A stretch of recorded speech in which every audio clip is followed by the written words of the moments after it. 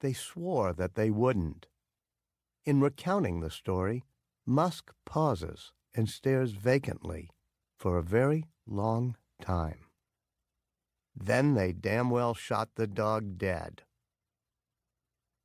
His most searing experiences came at school.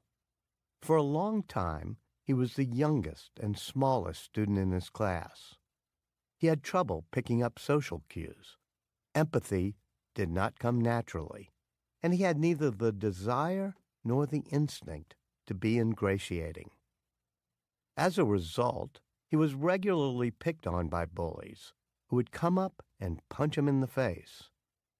If you have never been punched in the nose, you have no idea how it affects you the rest of your life, he says.